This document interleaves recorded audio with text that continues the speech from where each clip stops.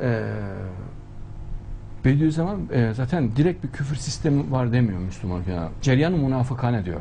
Münafık sistem var. Evet. Mesela bak başbakanın açıklaması da budur.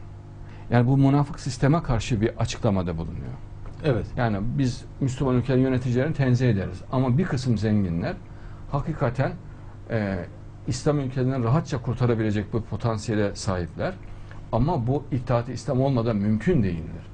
İşte Türkiye gitsin para toplasın, Pakistan'a versin veya Küveyt zenginler gitsinler Pakistan'a para versin. Adam tek yanlı para vermez. Evet. Vermiyorlardı nitekim. Evet.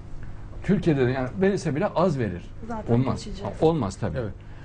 Ancak Mehdi'nin e, kontrolünde olan bir İslam aleminde toptan herkes çok sökücü ve etkileyici olarak yardımcı bulunabilir. Evet. Ve konuyu kapatacak şekilde, kökten bitirecek şekildedir. Başbakan konuşmaları benim iki yıllık konuşmalarımın özeti. Evet hocam. Evet. İnşallah. Tam özeti yani o şehirlerin kurulması, medeniyetlerin oluşması, altın çağın oluşması, Türkistan Birliği'nin oluşması, Evet.